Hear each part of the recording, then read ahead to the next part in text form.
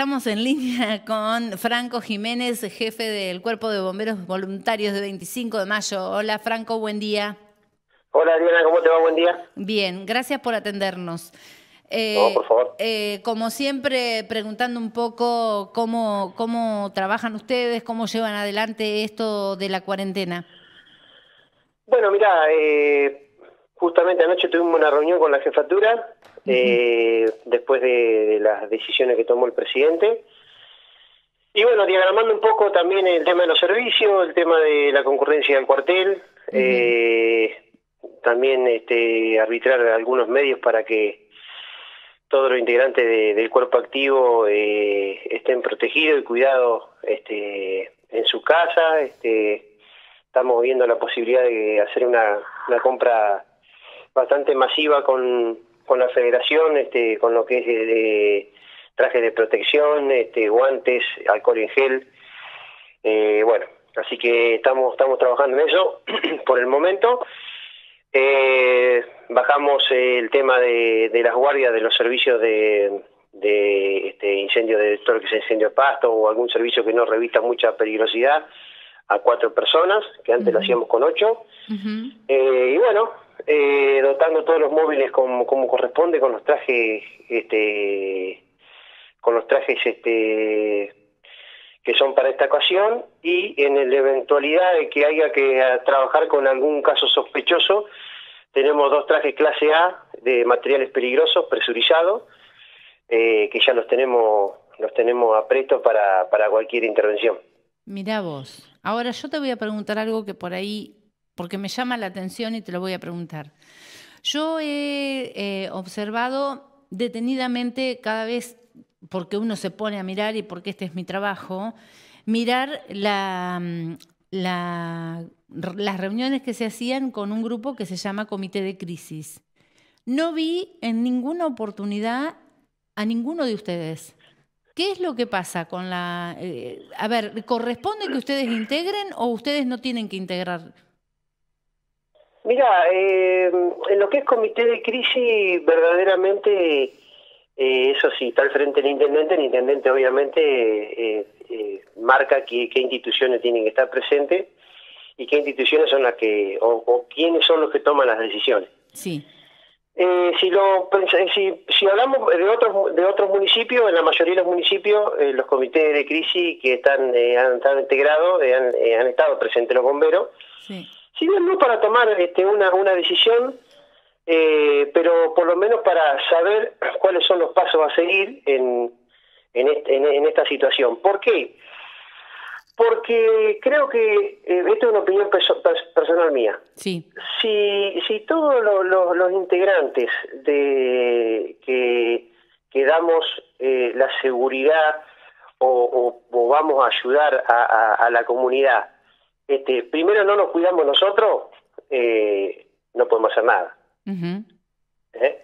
O sea que primero creo que eh, todas las instituciones de, seguridad y, de, salud y todo lo que lo que en este momento es necesario, sí o sí, primero hay que arrancar por ahí, cuidarnos nosotros, para poder ayudar al otro, porque si no, imagínate que en el cuartel yo tenga uno o dos casos sospechosos nada más, los chicos del cuartel no van a querer más.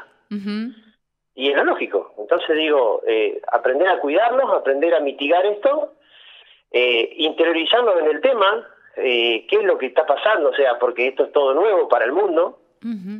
y bueno, y arrancar por ahí. Pero bueno, es una decisión de, del intendente y, la respetamos, obviamente. Este, esto, igual nosotros, la comunidad del 5 de mayo sabe que estamos a disposición de, de, lo que se necesite y lo que necesita el municipio. Esto está, está claro. Sí, sí, sí. Eh, eh, eso está más que claro. A mí me, llamó la atención porque había policías, este, estaban de, diferentes instituciones. Se ha llamado, por ejemplo, a los comerciantes, se ha llamado a todos los comerciantes para el, por el tema de precios y todo, de precios. Y, y la verdad que me, me puse a mirar y con atención y en ningún momento vi eh, ni a Franco Jiménez ni a nadie que tuviera que ver con bomberos. Y yo digo, bomberos siempre está para todas las emergencias.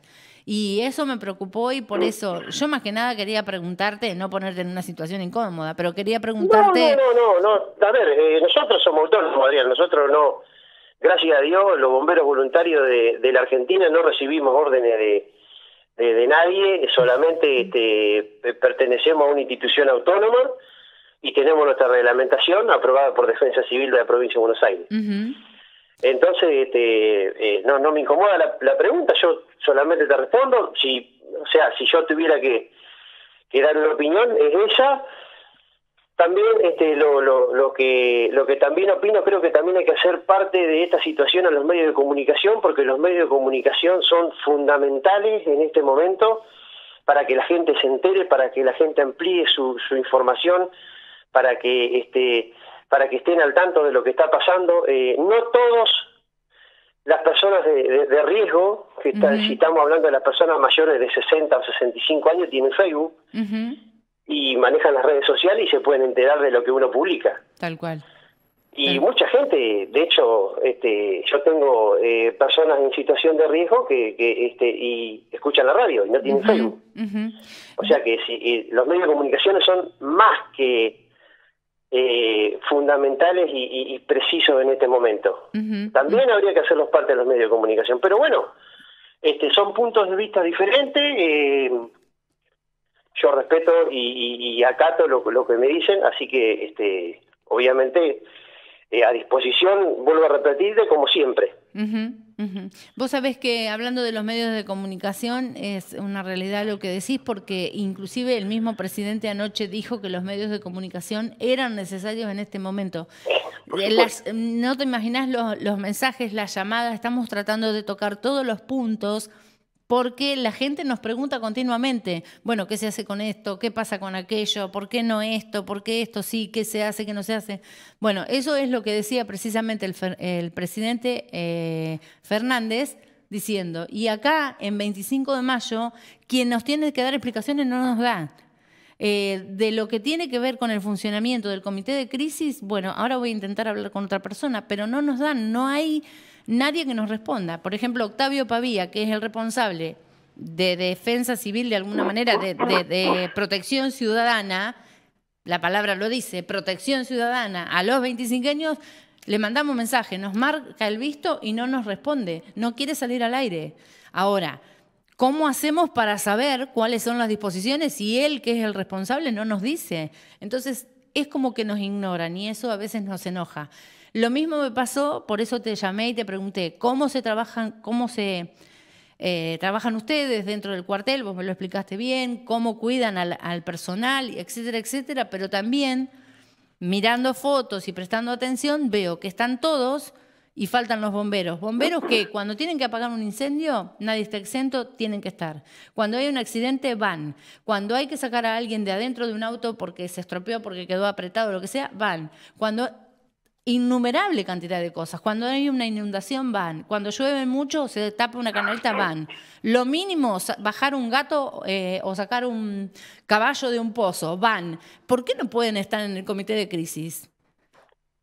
La verdad que, eh, bueno. eso lo digo yo y me hago cargo yo, pero me genera malestar realmente. Y, y perdóname que te lo diga así, este, pero lo tengo que decir, no me puedo no acostumbro a guardar no, no, las no, cosas. No, no hay problema, Adriana. Eh, te vuelvo a repetir, eh, nosotros estamos a disposición, eh, nosotros velamos por la seguridad de la comunidad. Este, de hecho, tenemos esta, esta semana pasada, ya hace 15 días empezamos a trabajar en tres protocolos. Dos ya han terminado, que están escritos e impresos.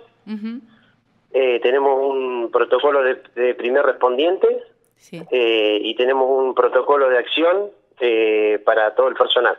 Bien. Que obviamente que eso es eh, viable para para personal de, de, seguridad, no no es para bomberos solamente, o sea, cómo cómo cómo cómo llegar a, la, a una persona, cómo este, acercarse, cómo trabajar, a quién hay que llamar, cuáles son los recaudos que hay que tomar, eh, cuál es la descontaminación después, este, qué es lo que este, hay que hacer en, en, cualquier en cualquier situación eso está todo escrito obviamente que lo, armamos con, información este, que está este, dando vuelta en el mundo y obviamente eh, con información básicamente de la Organización Mundial de la Salud que es un el ente que regula todas las, determinaciones en este caso.